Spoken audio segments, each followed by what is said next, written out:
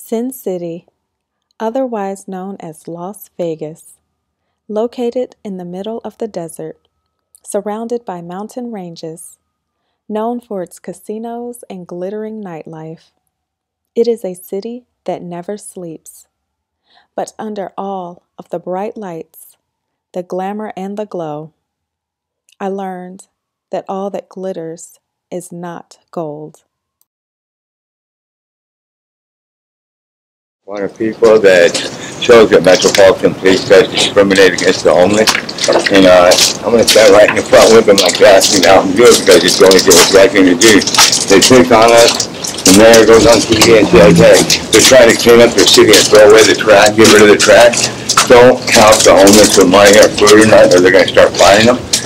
We're human beings, they're calling us trash. We're Americans, you know, we're trash. And wrong.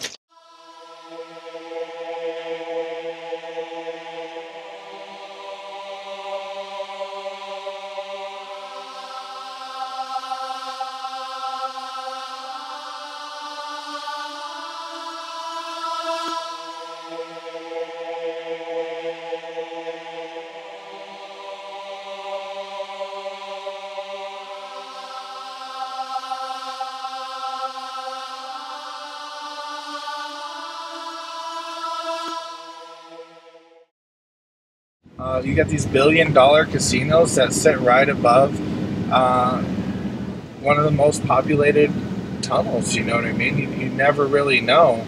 Um, there's another tunnel right right back this way. You know. Uh,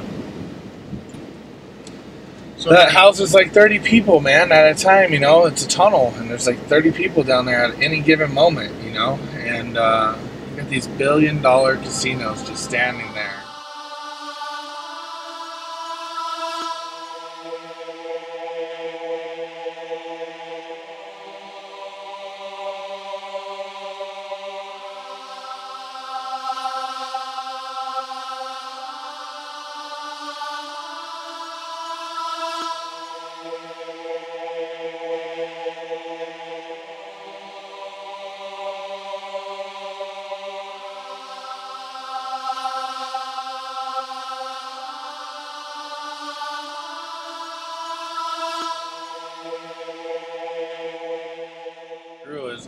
Continue to show up down here in these tunnels week after week just to show them like because we got to build their trust. They don't know us from adam when we first come down here when we're exploring uh, and finding new tunnels and new people and they're always evolving. There's always people coming in and out of these places you know? Uh, people end up going back to jail or whatever you know? They'll, they'll get tickets and stuff and they're not able to to to remember to go down to these court dates and you know there, there's plenty of things that apply to this you know and uh, so it's you got to build their trust you got to continue to show up you got to continue to build a rapport with them. So like when you tell because most of them i know when when people would tell me something when i was under the illusion of of drugs and alcohol that like it was a setup. They're coming after me. They want to take me to jail. They're gonna they're trying they're trying to pull something on me you know whether whatever it may be you know?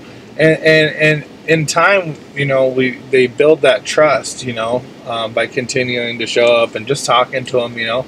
Um, and the, uh, just remind them you know this is what we're doing. If you ever went out this is the way out. On Saturday, September 15th, 2018, Shine a Light allowed my camera and I to follow them on one of their missions through the tunnels. We prepared to enter the tunnels, stocking up on bottled waters, socks, batteries, and food to pass out to the tunnel residents. It was mid September, so the 100 degree temperature paled in comparison to the prior summer months, with highs reaching 114 degrees. As we began to venture into the tunnels, I couldn't help but feel a sense of guilt that at one time I had partied and danced on the rooftops of these residents, like so many others, unknowingly, ignorant to their existence, ignorant of these tunnels they call home.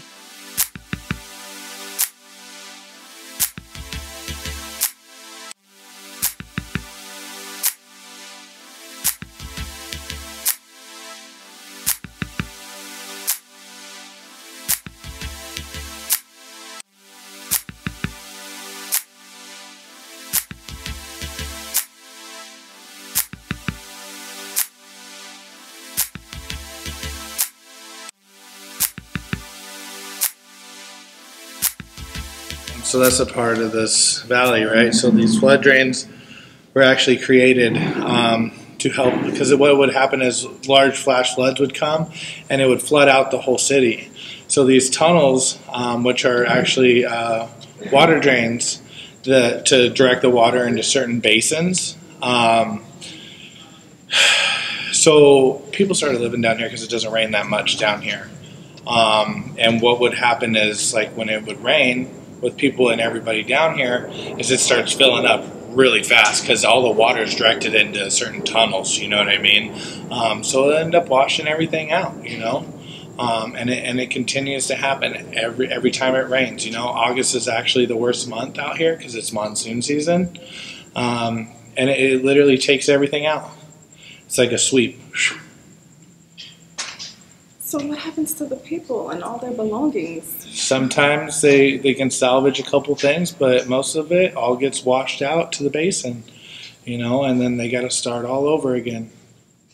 All the way to the mountain, the edge of the mountain. And so, like, if it rains in the mountains, there's no warning. Next thing you know, there's water coming through your, your channel because it rained out there. And so, like, it's really kind of like you have to learn how to adapt and survive and what locations are better than others and then it just leave it all to chance. Like last year this tunnel got washed out three or four times. This year it hasn't been touched yet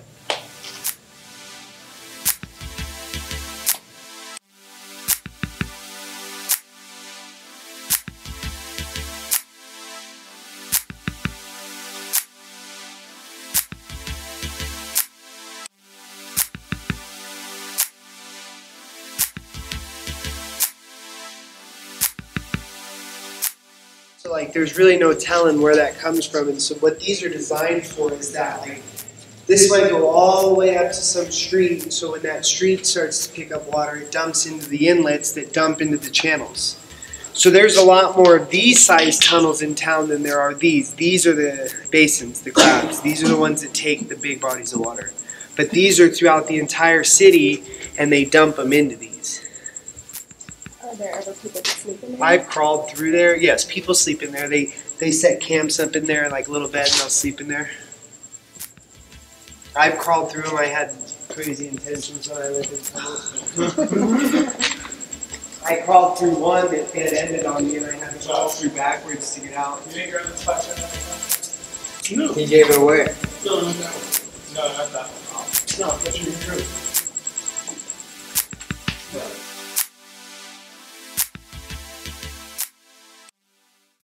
My name is Tracy Ponting, and I moved out here in 2000, 2010.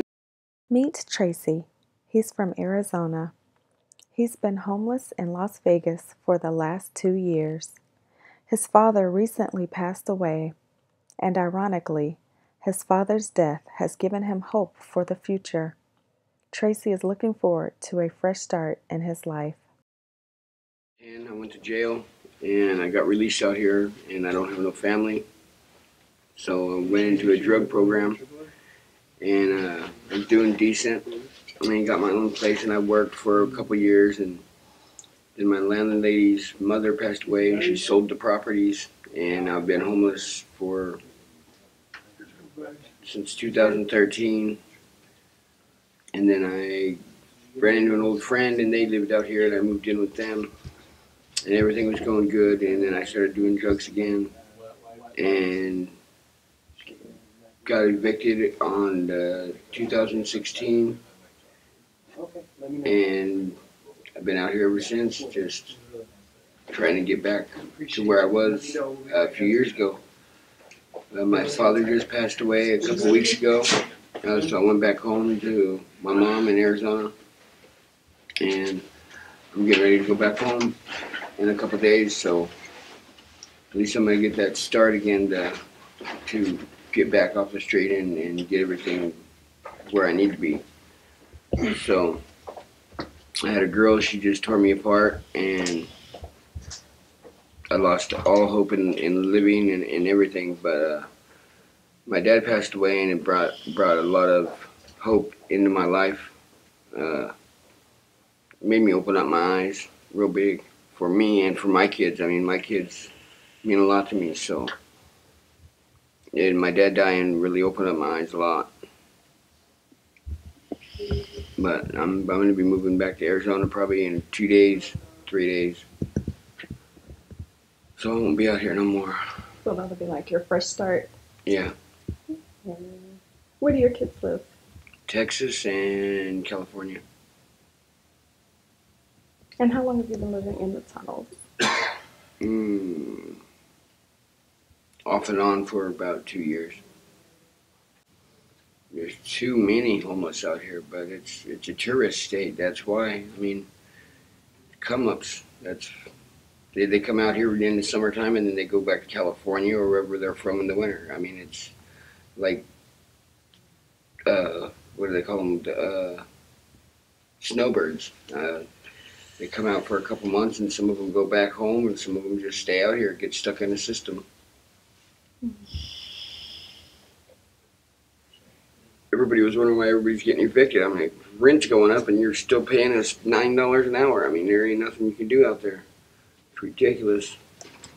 So my brothers and sisters and all them they're moving back to arizona because they can't afford it out in california. And my brother's an attorney and long beach california. He's an attorney and he can't even afford his rent. So it's ridiculous. And out here too, rent's ridiculous out here. It's it's cheaper to live in a tunnel when you work, you know, it's sometimes it's safer to be on the street than it is to be in a house or an apartment. but it depends on where you live, I guess. I don't know. Vegas. Nah, Vegas is no good no more. I don't like Vegas no more. Good to visit, not to live. Right, right. Tourist, if I was a tourist, it'd be all right, I guess. But I've been out here for years and I've seen it all. It's, it's this state is ugly to me, but I don't. I got a lot of love in my heart for a lot of people. But that's about that's about all I got.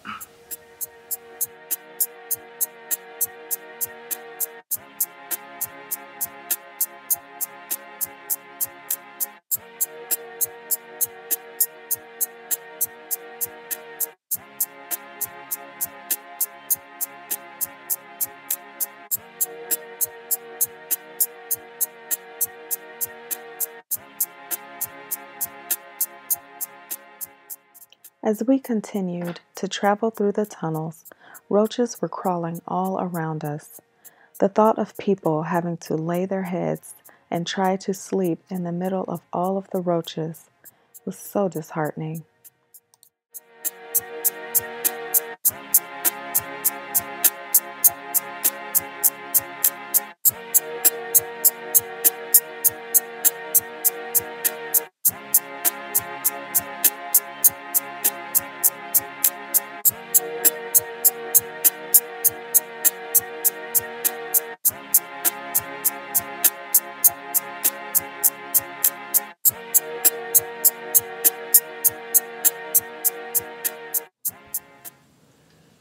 They burn up their camps. The very first thing I learned about the tunnels if someone does not want you there, they will burn all of your belongings. It's called an eviction.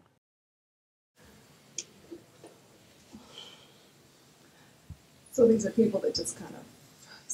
Pissed off somebody else. and it's time for you to go. Yeah.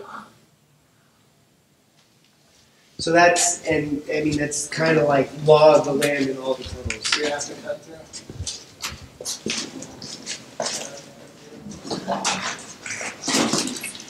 Be careful right here. So knock knock.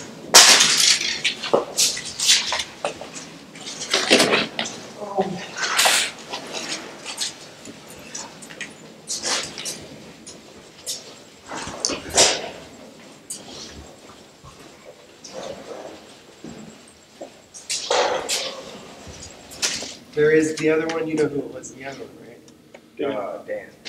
Who? Yeah. So these are the ones I went on.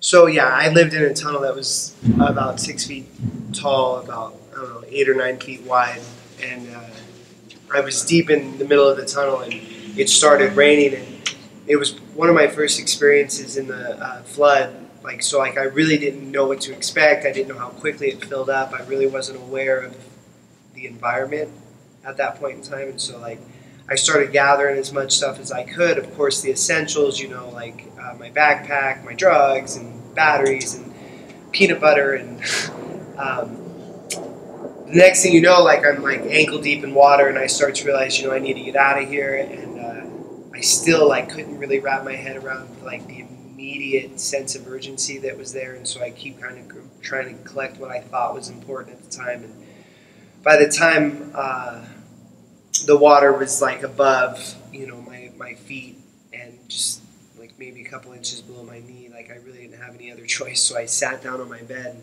and uh, I thought that the way that my bed was designed, I would be able to just sit on the bed and wait for the water to pass, and that's not how it worked out. Like the water picked up the bed and sent me out the tunnel, and I kind of rode the bed for I would have to say about a mile underground until it, it released into the flood bank. But lucky for me, like it was.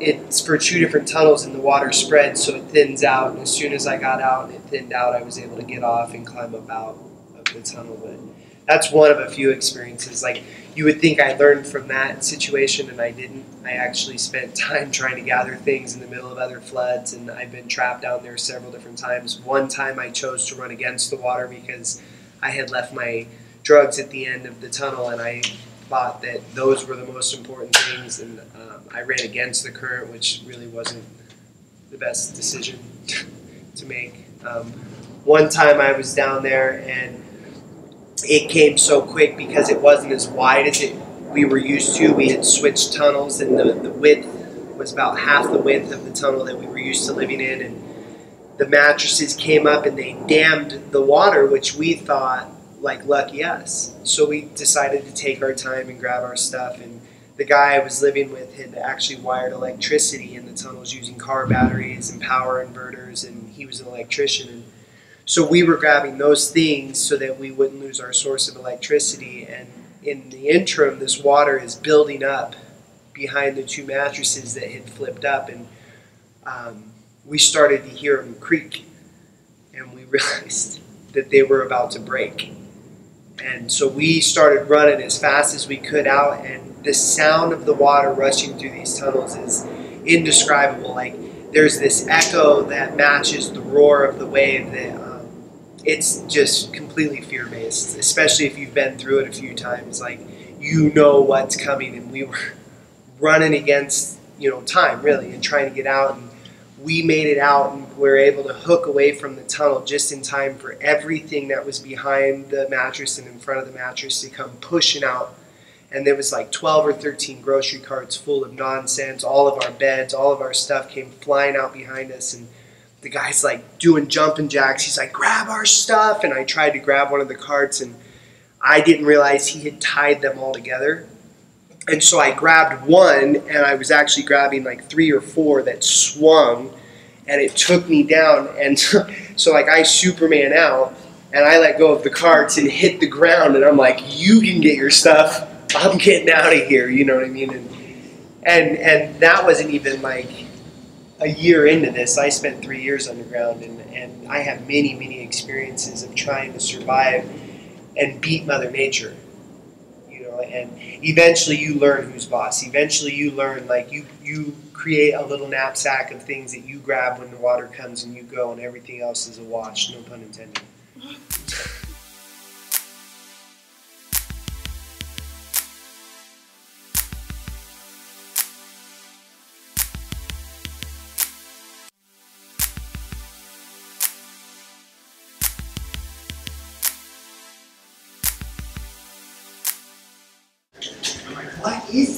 Shine that light right there. Yeah. She's like, I'm getting out of here. Yeah. You're all in that bag. Oh, you ain't even seen nothing yet. Yeah, man, I'm telling you, this is getting worse. this is the most roach infested tunnel I've ever seen.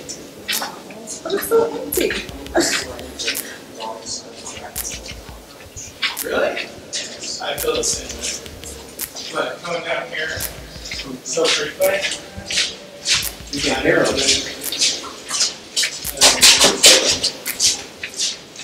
Be careful, the water when it sits, it becomes mossy, you will slip.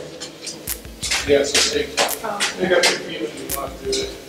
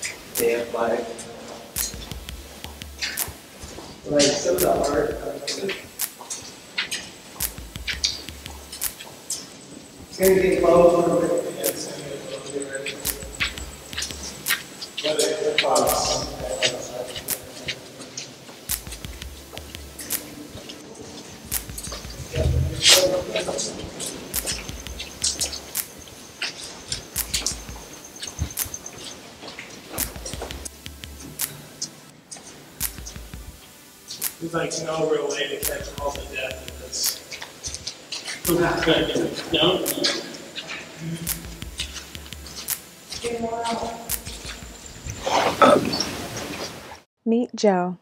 He moved to Las Vegas from California. He's looking for steady work and a second chance. uh, I was born in California, but lived in Utah for uh, 10 years. And uh, I come here and got in trouble with the law. And, you know, I got out of jail. Um, just tried to find work and stuff. My family's all passed away. So there's no one to, you know, give me help or nothing like that as far as family goes. And I just tried to find a job and end up being down here in the tunnel for, get out of the sun and you know, some place to live. And every time I try to get work or whatever, it, it lasts for a week or two. And with gambling and stuff, I'm not able to get get up, you know, get a, an apartment or nothing like that. I just got a gambling problem. And uh, I don't know, I'm just kind of stuck down here. Not not able to make enough to really get out of here or not be homeless. So do you work? Um, I, I scrap um, um, recyclables and stuff. I look for work. Um, I was handing out flyers for a pizza place every evening. I mean, but I was only making 40, 50 a night. And then, you know, by the time you get something to eat and some cigarettes, and it's just it's just hard to you know. You can't save no money. It's just basically enough to survive, which doesn't get me out of here. I'm still stuck here. Um, like uh, Tracy was saying, it's just, rent is just unbelievable. Um, and then if you got a felon, you know, hardly anybody wants to employ you. Um, just, you got, you know, construction jobs here and there, and then when I do find work, sometimes it's too far away for me to get on a bicycle or to walk.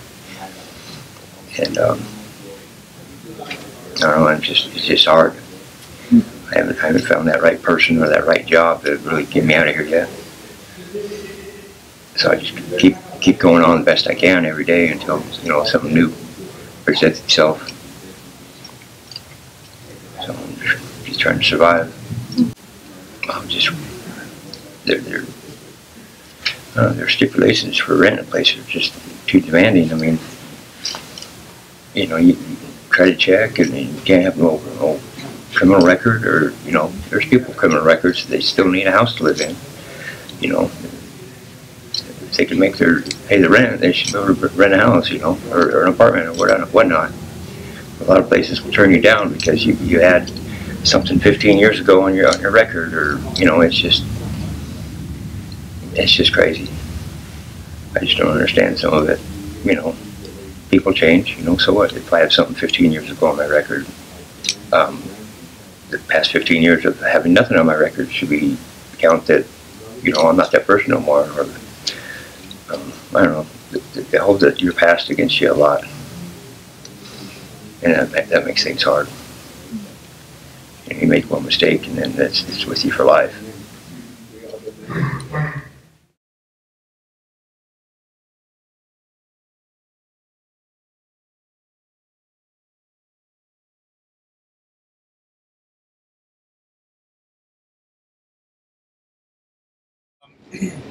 That's exactly like the point of what we do. You know, when we go out here to these tunnels to to give them our our experience, our strengths, and our hopes, right? Um, you know, with the Freedom House, uh, like having our back on this and like doing, uh, providing beds and everything that you know we, we raise funding for, uh, it kind of we, we give them a backbone to lean on the whole time. You know what I mean? Uh, and and they are able to uh, fall back to us. You know, if they get only 20, 24 hours a week, and they're only uh, you know not able to pay like their rent or whatever, like we're not to kick them out. You know, we'll, like we'll work with them um, and figure out a solution. You know what I mean? And try to find them better. Uh, better better jobs you know we have connections within the Job Connect places that that will uh, get them going back into the fast track. You know what I mean? Um, so like that's just like one of the things, you know. Minimum wage in Las Vegas is $8.25 an hour. That equates to $1,430 a month. With the median rent price in Las Vegas at $1,450, that doesn't leave much extra for bills, light, gas, electric, or even food. So, how are people expected to survive? Or you aren't able to get full, you know what I mean, get your housing and be able to maintain that unless, you know what I mean, you have another source of income. So, if you have another job. So, that's, you know what I mean, that's one of the hard things we have to deal with is living in Vegas. You, if you're going to you know, if you're coming off the streets and you haven't worked in a while, you know what I mean, your resume doesn't look all that great. You have to go, you know what I mean, you have to take what you can get. And what you can get is usually like a, you know, I mean, Burger King, Del Taco, where they're going to give you like 20, 24 hours a week on minimum wage, and you can't do anything with that. So then you get discouraged, and then those people with addictions get discouraged and kind of go back out. Like it was much easier to live in the tunnels. It was much easier to live on the streets, you know what I mean, when I didn't have to pay for anything. I just my expenses were food and getting drugs. You know what I mean? Like that's and that's it. And there's I don't know. So it's hard. It's it's hard for them, and it's hard to get past that mindset. You know what I mean? Going down in there and trying to tell them like, hey, you know what I mean? There's hope. But then it's like they've tried before and they failed every time, and it's just I don't know. So like, there's actually two sides of this. You know, um, some people qualify for inpatient, and some people don't you know? Not everybody's as bad as everybody else you know what i mean? Like every case is individualized when it comes down to it you know? Uh, it's it's it's really really crazy to be honest with you um, to watch somebody watch somebody come out of the tunnels that says they want to go because this is all a volunteer base on their end um, this is all a volunteer base when they're ready to come out. This isn't like, hey, let's go, you know. Um, this is come as come when you're ready. Um, if you're sick and tired of being sick and tired, you know, like let's go. You know, we'll, we'll figure something out. We'll get you placement and we'll get you going. You know, and uh, so far with the, the the amount of people that we've had come out of there, we've had a, I would want to say a hundred percent success rate with the people that have come out. Um, you know, one of the guys we got out, he was down there for probably almost about a year, down there by himself, you know, and he he. Uh, hold on one second. so that's what's cool about Shine a Light, also, is that it's not like there's no time constraints on it. We give them the card. You know what I mean? Hey, when you're ready, come talk to us like if you're not ready, it's not going to work, and that's and that's a part of the thing with the people that suffer from addiction is that if you're not ready, it's not going to work. If you have someone telling you, "Hey, you need to do this and this and this to get sober," then it's just, you know I mean, there's not a lot of a lot of people that stay sober through that. There are, you know what I mean, there are people that go through the court systems and then, you know what I mean, find that that way. But basically, the the success in addiction is when you're ready, when you're ready to to change your life, and when you're tired of living in the tunnels, you're tired of living, you know what I mean, on the streets, living, you know, then you're gonna find something else, and that's what we give them a card and like, hey, when you're ready, like call us.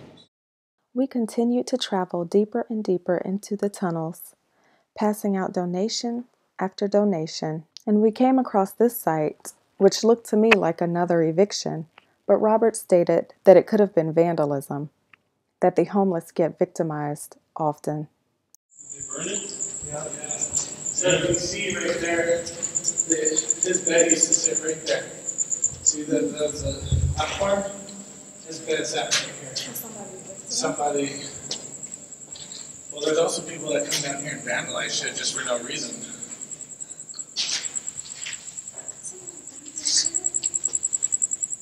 And he's such a nice dude. You see our friends over here? Jesus. This is is. Bill!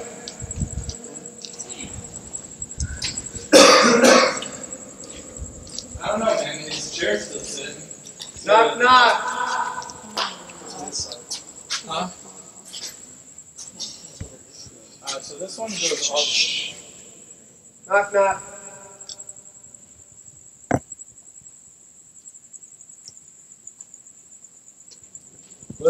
What's on that side? This one goes all the way out to a. Uh, you good, Josh? You good? You good? El Mexico. Got the unique shirt. Boy! You wanna walk down there and see if there's anybody down there? Huh? There's a camp there's never there. Well, the second one? Yeah. It get it's get gets really involved sometimes, you know. Sometimes I leave here with a heavy heart, you know, and, and my, my eyes are, are watery, you know, because it takes me back to like when I used to live down there, you know. Uh, I, I never experienced the full the full tunnel living situation because I was a front dweller. I would go to the front, stay there for the night, get up and go out and go do my thing for the day. But that's how how it starts, you know. Uh, and then you get invited back into deeper into the tunnels, you know. And uh, So you lived there. I did. I didn't live as in, like I said, as deep as in the tunnels as uh, some of us are have. You know, um, I just stayed in the front. Um, I didn't get the camaraderie, the lifestyle yet. I didn't get that false sense of hope of having four, four well, having two walls and a roof over my head. You know, it really it, it's the truth. It's a false sense of hope. You know, because you begin to realize you can put up curtains, you can put up stuff to make it feel like it's a house. You know, uh, it protects you from the heat, it protects you from the cold. You know, when it's hot outside, it's cooler down there. When it's cold outside, it's warmer down there. You know, uh, and that's just kind of how how it is. You know what I mean? And uh, The It- thing, the thing about it is too, it's like an invitation only. You can't just go to a tunnel where other people are living and kind of set up camp. You know what I mean? You'll get run off really quick. You have to kind of, like in the same way that we're building rapport, like the other people that are living on the streets have to build some sort of rapport to be invited back deeper into the tunnel to where, you know what I mean? You get that, what Robert was talking about, the camaraderie and, you know what I mean? Safety. Then we came back down this tunnel. We were right about here when we heard this. And we didn't know what it was. And we were like, we both kind of looked at each other and like, all right, this is what it is. And it was this little tunnel right here. I think it was this one or the next one up. It was around the bend. I think. You hear that? That's, that's the cars. Yes. So it was actually wind blowing leaves in, and we thought it was somebody on a bicycle. Because that's what it sounded like. Really? Yeah, dude, it was. I was like, oh shit. Because they were dry leaves, so the way they were hitting the ground, it didn't sound like smokes. Right. Like the back tunnel. Yep. Like, I saw that on Expedition Unknown last Yeah, those are stalactites because they hang on tight. And the ones growing up from the ground, like you can see them kind of start, but there's too much foot traffic for them to ever build, are called stalagmites because they're mighty. That's how you remember it. Mighty grows up, tidy holds on tight. Stalactite, stalagmite. Like this is the life of it. You know what I mean? Like this is.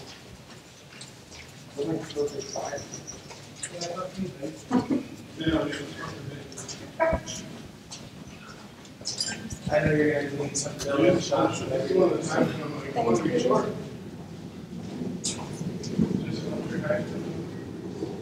Well, it's funny, I first started doing that, you know, actors, so bad. and I was like, how did I do this shit for three years?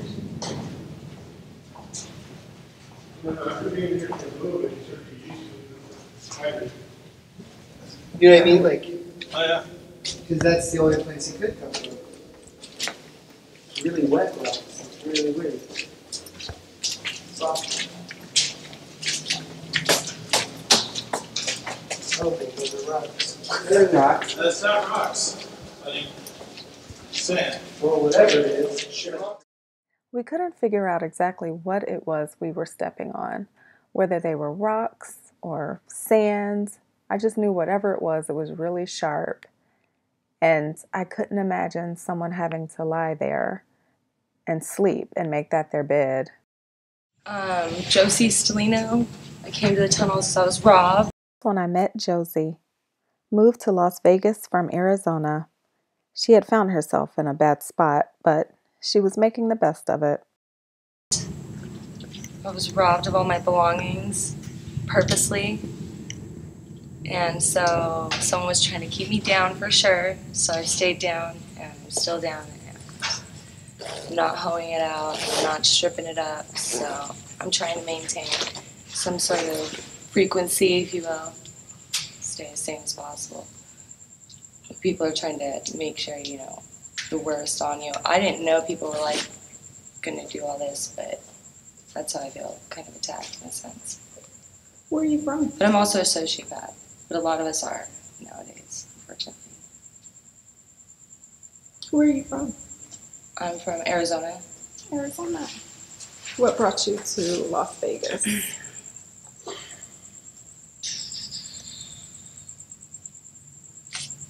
A lot of things, I think. I didn't know it was such a big city so close to where I'm from. Because I'm from AZ and I'd never been to Vegas till like eight months ago, a year ago. So, like, my family never let me know about Vegas or anything. So I thought it was kind of weird being it's like one of the major cities. I'm a conspiracist by any means. Um, I would definitely say these are storage units. These are not like homeless tunnels. That's my theory on it. I don't know. I could be wrong. How long have you lived in this tunnel? Or like pyramid squares or something. Um, like four months, probably. But it's free. I mean, I'm cool with that. It's washing up's a bit hard, but uh, whatever. I'll get used to it. I'm from AZ where there's like lakes and stuff, so it's a lot easier to maintain.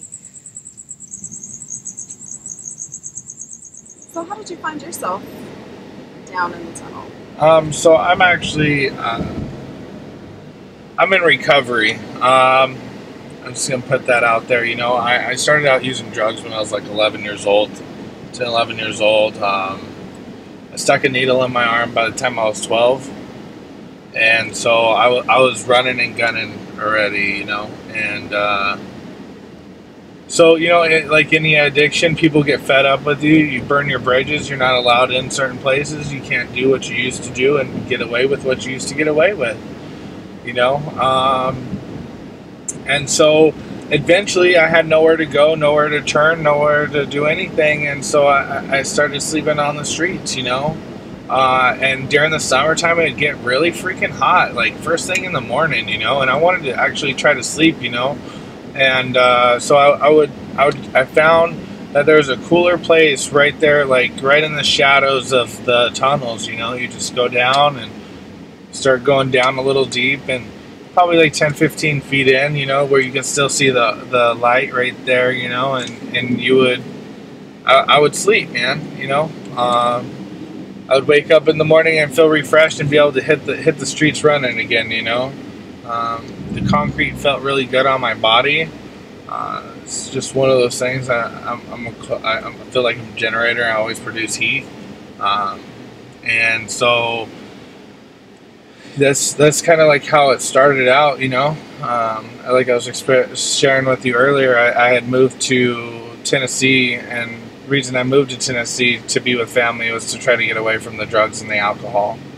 Um, and as soon as I got there, nothing changed because I wasn't really, really willing to change. I just wanted to get away from the methamphetamines, you know. Uh, and then I ended up transitioning over to straight drinking all the time, you know. And uh, so that's why I played the cat and cat and mouse in that time frame. And you know, I'd go from being out there to come, coming back out here, and then going back out there immediately because as soon as I get back here, I was right back down into the streets, just like that. Nothing like if nothing even changed, like right back in doing the same thing, same people, same places, and uh, through that time frame, you know, I uh, I found some depths. You know, I, I'm I'm really grateful for for those cops, you know, that arrested me that day. I was, I was completely obliviated out of my mind and uh, yelling at shadows walking down the street because I thought it was people that were chasing me. And uh, like the Jimmy Johns didn't think that it was. Uh, they they didn't think it was too good that I was running down the street yelling at people. And so uh, I uh, got pulled up on, and they asked me if I had any warrants, and at the time I did, and I told them no. And went back to the car, and I was like, actually, as a matter of fact, I do. Let's go. You know, like I was over it. I was done. I didn't want to do this anymore. You know, like I didn't know that at that time, and then as soon as I got into like, as soon as I got into the cell, I was cussing everybody out, and I didn't want to be there because now I had restrictions on me. You know, uh, it took a little bit of time to recuperate. You know, I, I they actually put me through a drug court program, and uh, that's that's where the journey began in my recovery. I didn't know what, exactly what I wanted. I knew I wanted to change, but I just didn't want to feel the way I felt anymore. And now I understand that, and that's why I try to go and give back to the people that are out here. You know, show share my experience, my strengths, and my hopes, and and continue to show up and tell them the same thing over and over and over again. Because with the the longer you continue to tell them the same story, the more believable it is. You know when, when they see the truth and they, they trust you and they can feel that, that heart to heart with you, you know. About 28 generations right there. I love that. Alright. Somebody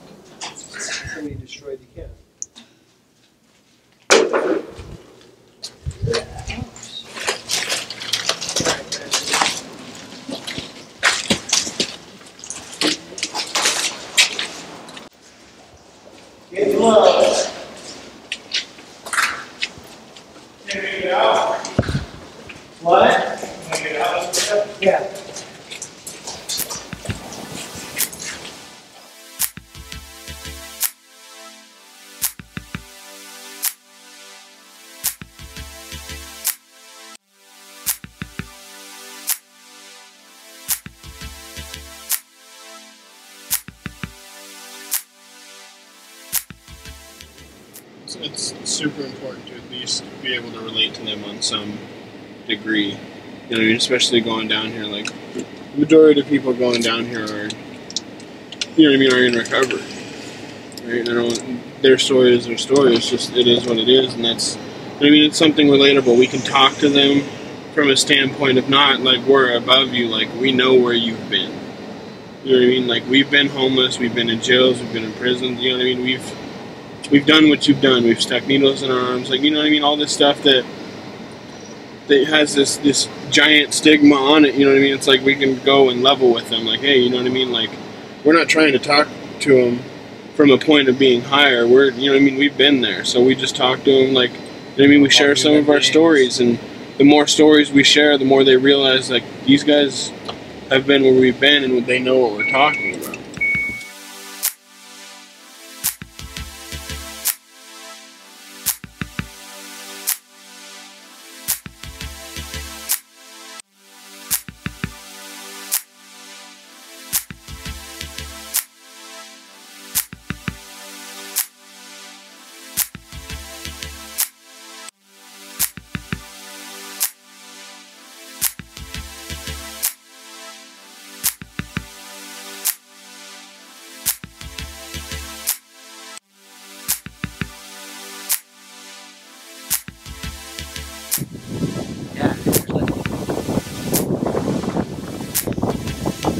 about. What you want to something? Cool. I think my sister just got uh, misplaced in her home in South Carolina.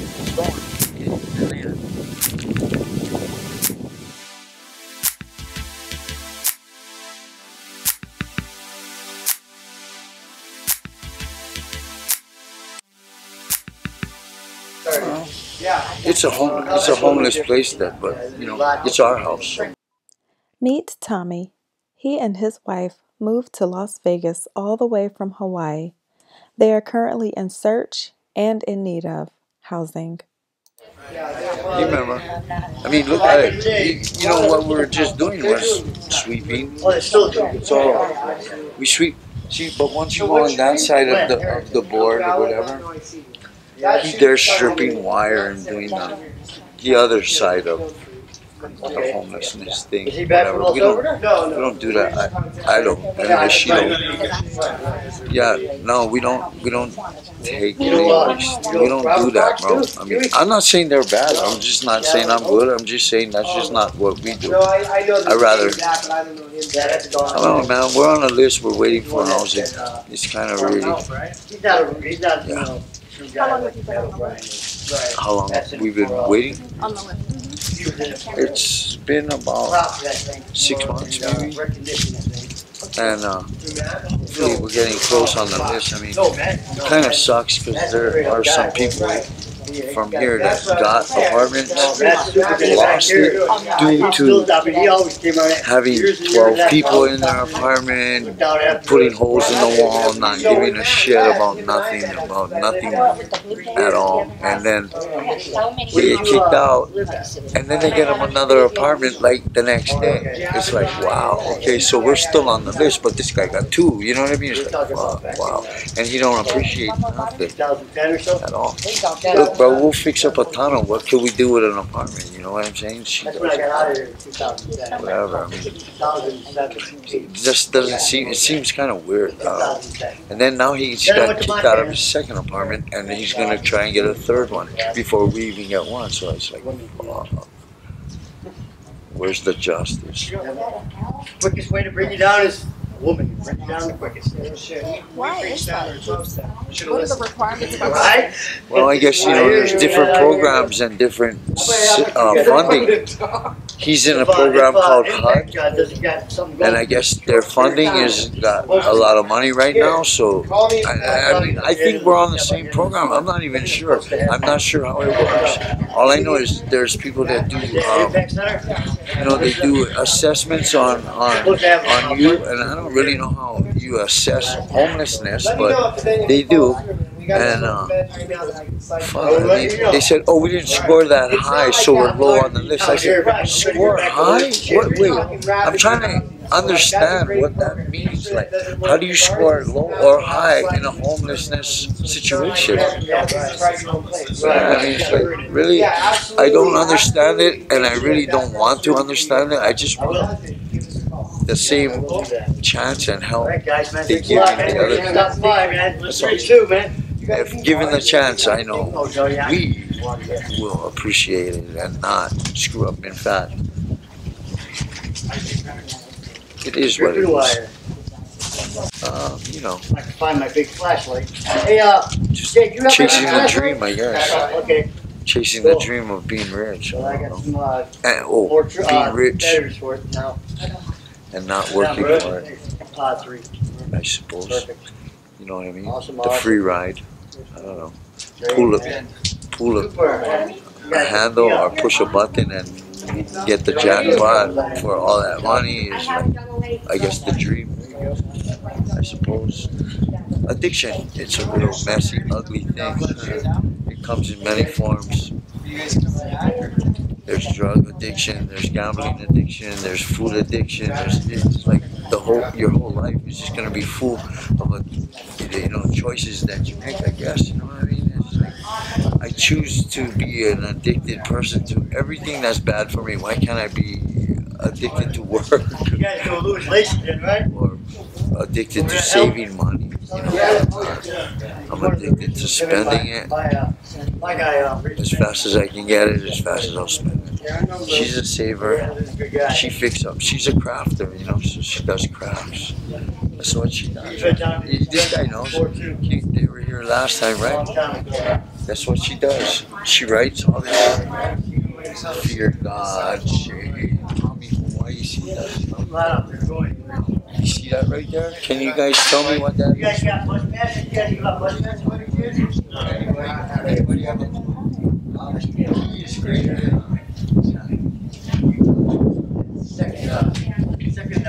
It's greater than I. That's our house in the prairie. You know, if you want water to take a shower, to drink, to, you got to go get it. You want to use the bathroom? You have to go use the bathroom. There's no You guys running water. There's Yeah, no you electricity. Nice You have to to make. you, You want to warm up some food or cook some food. soon. You have to make a fire. Sure.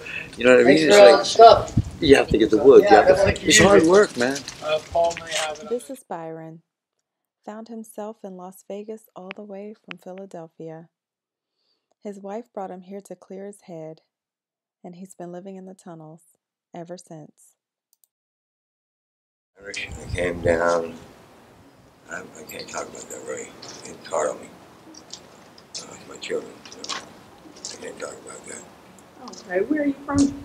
South Philadelphia. Wow. How did you end up in Las Vegas? My wife brought me here to clear my head up, and I ended up meeting some real people down here. So I stayed to help. And that I've done. And so now it's. I'm sorry I didn't mean to come back like like that. Just the reason why I'm here is because of my children. And I lost my kids, so and it's it's not better though. It's kept me alive, it gives me something to live for, and I know my kids are happy with what I'm doing, so and I'm gonna probably continue it until most of these people get help. Yeah, was that somebody in the back? Was that somebody yelling in the back? I heard him. I just heard him. You guys want to go through, want to go tour? Let some of the, I can, I don't like, give me wrong. Right. You know, that was cool, that was respectful. Right. You see all this stalactite? Yeah, they're pretty intense down here. These ones are older. And some of these, some of these like over on one and six, they got secret marble parts. Right. Out on the corner door, part. You guys been doing it so many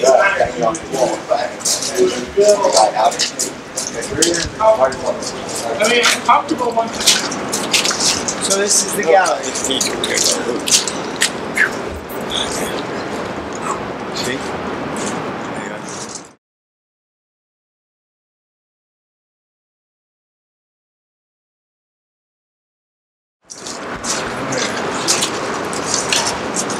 Caesars.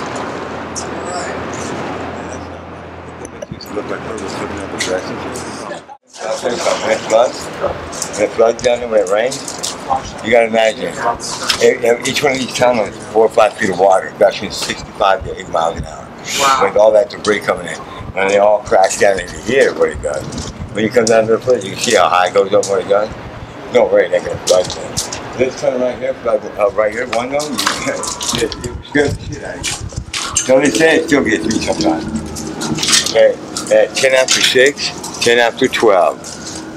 Count 10 after 6, 10 after 12. 100,000 gallons of water comes through that tube right there. And it gushes out in that wall and comes right out. And that's why it's all right here. Spreads out and look. This way it comes out. You live on wash it, close up my hand. And after six. Like, what, what's the next time?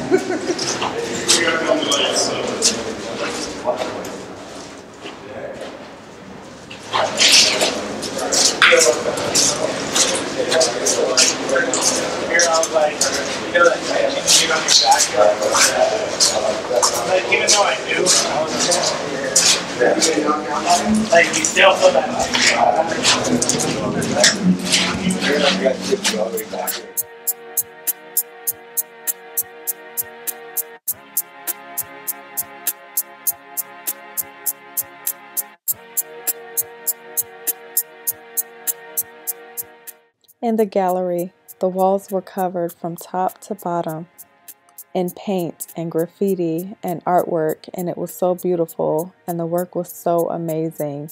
And it had to have been done by flashlight, by candlelight. However, it was created. It takes a special artist to be able to create such beauty in the dark, in pitch black.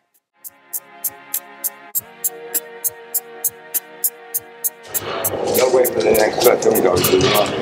But it's all clear. You see it good. If you the line on it, good. It's all clear from the line. I went great. But hey, That's clear water. yeah. Try to look for that so you get back there wash your body off. Look, uh, the paper here from the people that go out by the sun.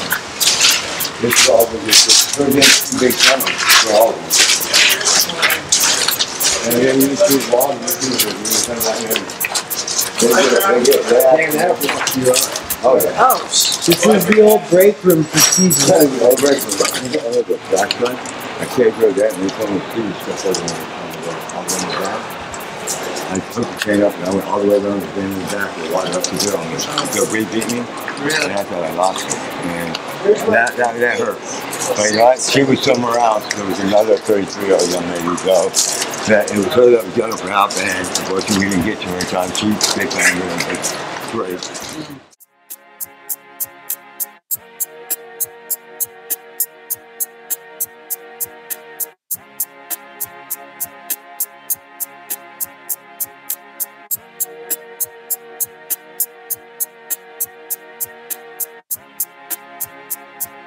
That's horrible.